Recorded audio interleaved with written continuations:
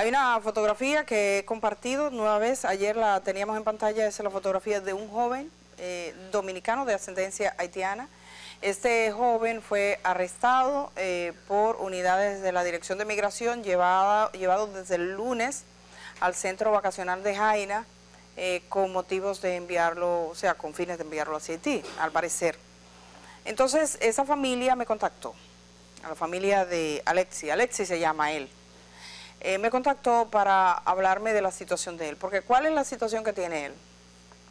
Él nació en República Dominicana hace 20 años, ellos me compartieron el acta de nacimiento. Yo no pongo el acta de nacimiento porque a fin de cuentas no le va a ayudar a ustedes a nada, pero las autoridades saben que tiene su acta de nacimiento, o sea, no es necesario ni que yo presente la fotografía del acta de nacimiento. Él tiene su acta de nacimiento, ellos me compartían el documento y lo compartieron también, evidentemente, con las autoridades migratorias, eh, que posteriormente grabaron ayer un video donde él dijo que se le había tratado bien. Yo no tengo duda de que se le haya tratado, o sea, que lo cogieron, lo metieron ahí en, en el área donde lo tienen ahí todos juntos en Jaina, pero no se trataba de, la, de eso. Eh, era de la vulneración del tema, de que alguien que está en posesión de su documentación, que pertenece a un segmento de la población que se ha distinguido claramente, porque ¿cuál es el problema que se está planteando aquí? República Dominicana tiene derecho a repatriar a la gente que no tenga documentación. Hasta de Haití te repatrian. O sea, para yo ir a Haití yo tengo que buscar una visa. O sea, eso está claro. Si hay gente que está atravesando la frontera y que lo atraviesan son negociantes, generalmente militares y demás, que durante décadas han hecho negocios y que traen gente que luego usted lo ve en la construcción, que lo traen ayer, en labores agrícolas, que lo traen de antes de ayer, y en todo eso. Yo digo, bueno, pero arregulen eso. Dice, bueno, para la, para la construcción se sientan con Jacoprobio, lo que sea, y los ingenieros, y dicen, nosotros necesitamos mano de obra y vamos a buscar mano de obra organizada, como lo hacen otros países. Hay países en, en Europa, hay países en Asia que necesitan mano de obra de países vecinos y tienen una cuota y esa gente dice, ah, bueno, necesitamos tanto en Europa para que corten tal producto para el corte de los olivos o necesitamos tanto en Puerto Rico para el corte del café.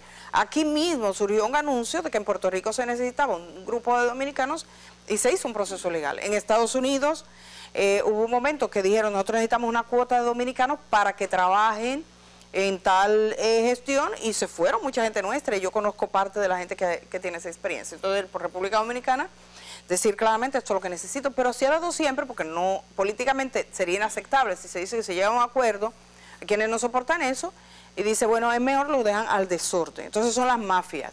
Ahora bien, ese es un tipo de gente que está en una condición de irregularidad, que algunos llegaron hace ocho años, cuatro años, tres años, dos años, un mes, diez días. Usted encuentra que pasan en camiones, en camionetas, en vehículos y en ambulancias, porque se han dado casos de gente que la han eh, arrestado en una ambulancia. ¿Quiénes participan en ese negocio? Yo no. Usted, que lo, no, digo, yo entiendo que usted que está mirándome no tampoco, ¿verdad? Porque puede que alguno que trafique mire el programa. Todo dependerá de su conciencia. Esa es una realidad. La gente que es víctima de trata de tráfico, que además es un delito, y que usted lo trae todos los años. Ahora, hay otro tipo de gente, porque que no, no todo el que es descendiente de haitiano es lo mismo. Usted tiene unos gobiernos, que eso se explicó hasta el cansancio, gobiernos de la República Dominicana, que eh, hacían acuerdos con gobiernos de Haití, de Estado a Estado. Eso le trajo muy mala fama a la República Dominicana en esos años. Y traía a un grupo de hombres a trabajar los campos cañeros. Y lo dejaban ahí y se establecían. Y constituyeron unos espacios que se llaman bateyes. Y nadie se metía con el batey. Al batey nadie iba, del batey nadie salía. Nadie se acercaba al batey y el batey no tenía que ver con la vida de la gente. Absolutamente, no tenía que ver con la vida común. Se juntaban donde? En las ferias comerciales de algunos lugares. Iban, vendían su ropa que compraban, vendían hasta su pan que fabricaban, todo eso, pero era una distancia. Hay un estudio de una universidad norteamericana que pude ver que hace un análisis sociológico sobre la vida del batey.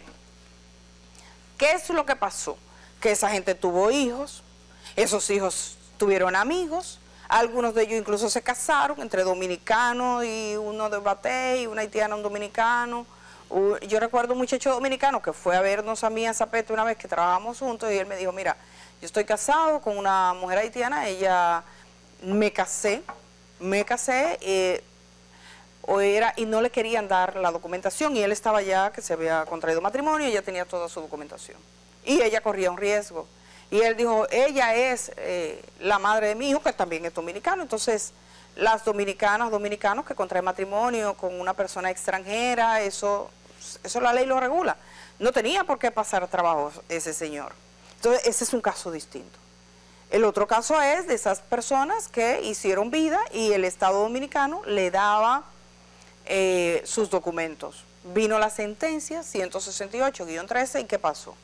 Cuando llega la sentencia 168-13, eso no es para los que entraron ayer o antes de ayer, eso es para los que nacieron desde 1929 hasta la fecha, desde 1929, eso es varias generaciones de personas.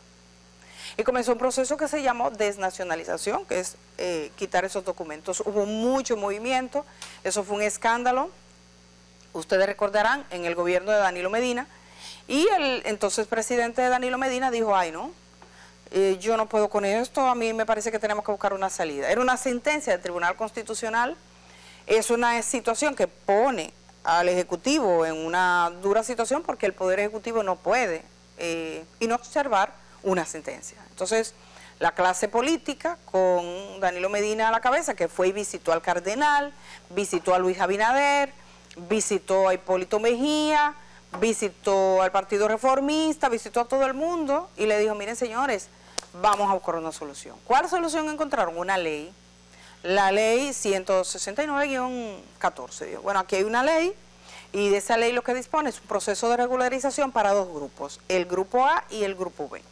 ¿Cuál era el grupo A? Los que ya tenían documentos, los que tenían su documentación, que eh, le iban a hacer un proceso de naturalización y eso iba a ser con decreto y se naturalizaban como dominicanos. Y el grupo B, que era los que habiendo nacido aquí, todavía no habían hecho el proceso. Hasta ahí toda la historia ustedes la conocen. Viene el plan de regularización, se invierte muchísimo dinero y llega este gobierno. ¿Qué pasa? Este gobierno suspendió los procesos de oficina y todo lo demás. Entonces hay mucha gente que del grupo A o del grupo B que se va a encontrar problemas hoy, mañana, pasado, el año que viene, en tres años, en diez, en quince, si es, porque eso nunca, eso es difícil. Porque cuando se habla de eso hay gente que todo lo mismo, o sea, le da igual que entró ayer o que nació aquí el papá, es lo mismo, es haitiano y en eso se cierra. Y entonces hay como un debate público bastante cargado. Este es el tipo de temas que genera más comentarios negativos.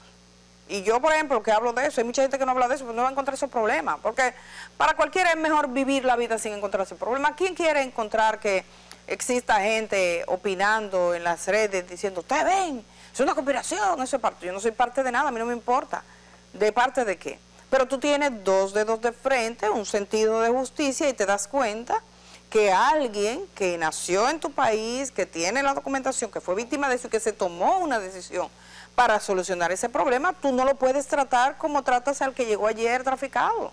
Eso está clarísimo. ¿Por qué lo tratas así? Entonces, eh, por ejemplo, este joven es de ese grupo. Y, yo creo que migración, en algunos casos, como lo de este joven, ha dado muestras de rectificar. Yo tengo que decir también eso. ¿Por qué? Porque he visto casos, si hay un ciudadano que tiene su documentación, hay algunas organizaciones que muestran que nació aquí, que tiene sus documentos y generalmente ellos terminan dejándolo en libertad. No conozco ningún caso que siendo denunciado públicamente, ellos continúan adelante. Ese ha sido el caso de Alexi. Me comunican que esta mañana Alexi ha sido dejado en libertad ha sido dejado libre, él es de la Romana, en buena hora, porque ese muchacho que tiene 20 años, que nació en este país, que su madre nació en República Dominicana, no merece eh, ser tratado de esa forma, porque además es contrario a la disposición de esa legislación, de ese acuerdo que se buscó. Entonces, él vive en República Dominicana, está en República Dominicana. Ahora, otra cosa es que ahora él inicia el proceso porque les cuesta más trabajo conseguir la cédula, eh, hay muchachos, yo recuerdo un muchacho que se ganó una beca y había nacido en República Dominicana y tenía sus documentos, pero ahí cuando llegó la hora del pasaporte, ay, mi madre, le dijeron no.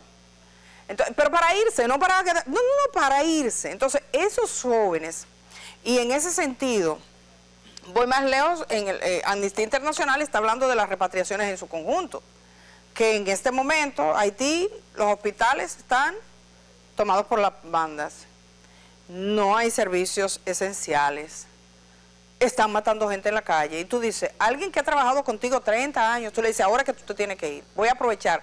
Foni 1, recogida por Foni 1, ahora es que yo lo recojo en este momento, no importa que tengas 30 años, 40 años, voy al batey y rompo la puerta. Eso nunca se vio de romper puertas en los bateyes, eso es ahora que se está mirando. Antes, porque yo conozco, por ejemplo, y todo el que es del Ceibo conoce la zona de la higuera, que dos operativos que han, sido, han ido ahí han sido denunciados por la congregación, las dominicas, los dominicos y muchos organismos ahí. ¿Qué pasó? En el primero fueron, rompieron, cogen todo lo que hay. Hay mafias dedicadas de los que están, yo no sé si de migración o qué, ahí lo decían, que se cogen los teléfonos de la gente, de los migrantes, se cogían en el segundo, usted ve los videos, revoltearon, el dinerito que está debajo del colchón, eso no es. Claudio Acosta, que es periodista del diario Hoy, escribía, eso no es repatriaciones, eso no es un proceso de búsqueda de migrantes, eso es robo vulgar, eso se produjo y eso fue denunciado, eso fue denunciado. Conozco un joven que vino, que el señor con el que él trabajaba tuvo que pagarle a un guardia 25 mil pesos. Ahora, ellos ellos me dicen, eh, yo, no, yo, no, yo no tengo un video eh, con el guardia cogiendo los cuartos, yo no puedo salir a decir, el guardia fulano de tal cogió, porque yo no tengo ese video. Y, si, ellos que lo vivieron me dicen, es que si nosotros decimos eso van a tomar represalia contra nosotros. Y ellos nos tienen un ministerio público que les escucha, entonces eso va a seguir pasando. Entonces, evidentemente, así como Migración ha hecho este replanteamiento en ese caso, tienen que analizar porque hay mafias, hay mafias que están, hay incluso espacios que ni son de migración, ni son de la policía, ni son del Ministerio Público, donde mueven migrantes con el negocio. Cualquiera que se proponga, porque eso es como carne de cañón.